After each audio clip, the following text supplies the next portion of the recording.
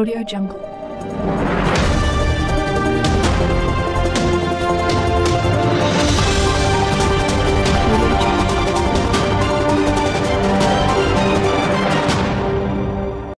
موږ چې دا کوم جرګه ده دا د 1100 ایکړ اراضي په بابت کې موږ راټول شوی د کمې د بې دخلۍ د پاره چې اخونزاده سیار بچا را پاسېدلې دي او هغه د های کورټ د سیشن جج نه د سیول جج او سیشن جج نه دا وارنټ راوړی او ډي اس پي ته یې ښه دی چې یاره دا خلک د دې اراضۍ نه بې دخله که په دې کې موجوده موږ سدي چار سو کورونه تقریبا چار سو خاندانونه دي چې په ډیټیل باندې لاړ شي نو ست سو آټ سو نم اوړي دومره ډیر خلک په دې کې متاثر کیږي دا د دې ځمکې دا ډیټیل د سره روان دی چې په 1976 کې زمنګ او د برانخیل قوم په منځ کې په دې باندې یو تنازع مخې ته رااله هغه سمنګ یا کمپرمایز وکړو یا جرګه وشوله یا خونریزي وشوله خو مسله زمنګ او دغه په منځ کې حل شو د 76 نه رواله د تقریبا د 20 مارچ 1999 پورې موږ په دې باندې د سیټل په د اف سی آر د قانون د تخت لاندې زندگی تیروله د 2000 نه بعد دا را پاسې دا خونزاده او دوی ویل چې ما سری وینیو تقریبا د 200 سال لا نو زما دا سوال دی دا مې عرض دی دا ته ریکوست کوم چې په 15 جنسینو کې مرجر شوه که په یو ایجنسۍ کې چا ثابته کړه که وزیرستان ایجنسي ده که د کورمې ایجنسي ده که د خیبر ده که د باجوړ ده که مومند ده چې په دې کې په چا پسې د دوه سوه سال نه یا د سوه سال نه یا د یک سوه پچاس سال نه ریونیو راروانه وي موږ دې جایداد پرېښودو ته تیار یو که داسې نه وي زه چې کله د ایجنسۍ د قانون نه لاندې ما دلته وخت تېرو ما چوبیس سال تېر کړه د هغې نه بعد دا ریونیو ته پسې څنګه راله دا په جوړ توړ باندې راله تا به یو پټواری اخیستی تا به یو ګرداور اخیستی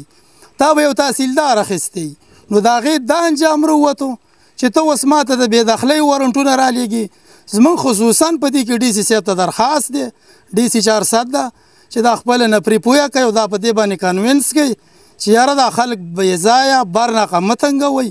په دې کې د ډي پي اوم اکشن والي ډي آی جي دیم والي سي سي پي او دیم والي او د کې پي تمام ګورنمنټ دی په دې کې اکشن والي دا 400 خاندانونه چې ته بې دخله کې دلته به خونریزي جوړیږي یو د ملک حالات زه په زه خراب دي موږ دوی سره بدمنی نه غواړو چې موږ د پولیس مخې له ورشو دا ملک او ځانم ملک موږ د امن د لارې او د یو روغې د لارې د سم مذاکراتو ته تیاری خو دا ادارې دا ډي اس پی دا ډي ای جی دا ډي سی 400 دا دا د دا جج په دې خبره باندې پوهه کی چې کله تاسو په 2000 کې درخواست ورکړي چې دا زمکه های کورټ وای د په 145 د انډر نه لاندې بند کړي دا چې کله های کورټ بند کړه نو د په کم قانون دا کیس وګټ دا یک طرفه ډیګری څنګه رااله دا ټوله یو دوکه ده یو پریب دی زمنګ ساده مشران دی دای په دې دوکه کوي چې ما سه انتقال لې نو زه دا خواص کوم دا ریکوست کوم چې 24 سال موږ د افسیار په قانون کې پاتې شوی او دا غینه واله درشتم کالم د دې سټل د دې پولیس په قانون کې شروع دی نو هغه 24 سودا تای 47 سال وشو منګه سد دي اصلي جواز څه دی زمونږ قبضه ده چې مونږ په دې ځای بادي مونږ د ایجنسۍ تاریخ دی مو ګوري چې هغې کې کم واردات دلته کېدل او د ایجنسۍ خاصدار یا د ایجنسۍ اف سي ملیشه فرنټیر کور والا براتلل او دلته به کاروایی کوله ما خو دا مثال مخکې پیش کو چې د مرجر پنځه کاله وشو د دغې نه تاسو دا خبره روباسي چې هغه کې چا سوسم انتقال نشته د مومندو جیداد له دوی نوم ورکړي بینامي جیداد او دلته د ما پسې و یاره دا انتقال مې راولې دي او زتا به دخل کوم نو منګه ډي سي 400 دا ډي پی او ډي اي جي او د کې په تمام ګورنمنت ته ریکوست کو چې دا سړی دی باید د منګ نه قلار کړی شي دلته مونږ خونریزي نه غواړو که خامخا دا مونږ بې دخله کول غواړي مونږ به د دوی وروره مزاحمت هم کوو مونږ او په دې ځای ځان هم وژنو دا زمونږ خاوره ده مونږ چاته هم نه پرېږدو که مونږ باندې د بهر نه هر څومره زور رالی خو مونږ د کور پرېښودو ته تیار نه یو هغه د دې خبرو نه ځان شاته ساتي هغه صرف یو څو یعنی افسران به دا وایي چې رامخې ته کړي دي او د هغو په جوړ او د هغو په ډاډ لګیا دی که چېرته دا د موږ نه د ځمکه اخیستل غواړي نو د دغه مړو ازاله دې وکړی شي دغه اته مړي زموږ په ده باندې دي موږ به له ده نه خپل مړي وغواړو ده ته به خپله ځمکه پرېږدو ما تقریبا شل کاله وشو دلته ما ځمکه اخیستې ده او دا خونزاده زما په خوا کې کور او دی به راتلو او ما ته به یې کتل د ما ته ولې نه ویلې چېره ته دا کور مه جوړوه ما کور جوړو دی راته ولاړو 24 ګنټې به دی راتلو او په ما به دوره کوله د ماته نه دی ویلي چې ته کور جوړ کا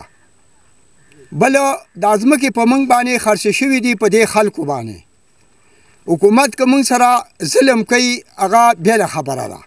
دا په مونږ باندې د خرڅ کړي دي علمزی را باندې خرڅ کړي مونږ سره شتابونه دي مونږ سره کاغذونه دي مونږ نه دي حکومت یو ثبوت غواړي من خواسي چټي نه راغلی او چټي هم کورونه نه دي جوړ کړي دا عمل کې مخکې ډګر او دی د خونزاده ولې نه نیو دله په کار دا چې د عمل کې نیولې وې راغلې وې پکې کورونه جوړ کړي پکې خیمه لګولې حکومت یې راوستې وې دلته وې پکې کې نه ولې وې دا د حکومت تانیم یو دا کورونه جوړېدل په کار و چې حکومت راغلې وې او دا ورته راپورټ کړې وې چې دا کورونه بند کا چې دا نه جوړیږي چې موږ اوس مقامي شو کورونه هم جوړ کړو دی اوس وایي دا زما ده قسم په خدای که رانه